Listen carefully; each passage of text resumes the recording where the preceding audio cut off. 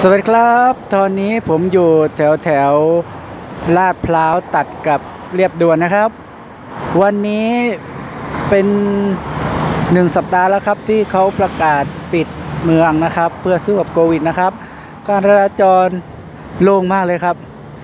ยิ่งกว่าช่วงสงกรานต์อีกครับ นี่คือแถวเรียบด่วนแล้วนะครับโล่งมากเลยครับ ปกติ แถวนี้ตอนเช้าจะติดมากเลยนะครับ ช่วงเวลาคนไปทำงานหรือ ช่วงเวลาเร่งด่วนนะครับ ข้างล่างนี้ก็จะเป็น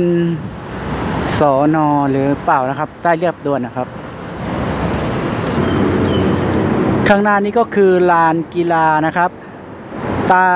ทางด่วนนะครับของการทางพิเศษนะครับ ปกติช่วงเช้าจะมีคนมาเล่นกีฬานะครับ เพื่อออกกำลังกาย แต่ตอนนี้ปิดนะครับเพื่อสู้กับโควิดนะครับ อยู่ห่างกัน 2 เมตรนะครับ ไม่พูดเยอะ และก็กินร้อนช้อนกูนะครับ เราก็จะสู้กับโควิดได้นะครับ กว่าที่จะโรคโควิดจะหายไปหรือมียารักษานะครับ ผมว่าคนจะต้อง เป็นโรคประสาทหรือไม่ก็เป็นโรคซึมเศร้านะครับ เพราะอยู่กับความหวาดวิตกกังวลนะครับ ของเชื้อโรคนะครับ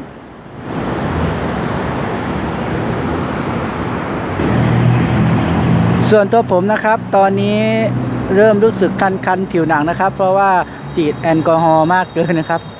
รู้สึกว่าเหมือนจะแพ้แอลกอฮอล์นะครับ ตอนนี้ผมกำลังรอรถประจำทางนะครับ ช่วงที่ผมรอรถประจำประจำทางนะครับ พามาดู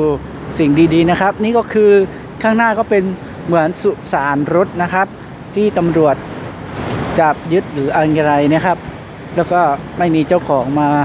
รับนะครับ จะปล่อยทิ้งไว้ดูครับ ถ้าเป็นกลางคืนน่ากลัวนะครับ ไม่รู้มีเจ้าของอยู่ข้างในหรือเปล่าครับ โอเคครับ ครับสำหรับวันนี้แค่นี้ก่อนนะครับ ฝาก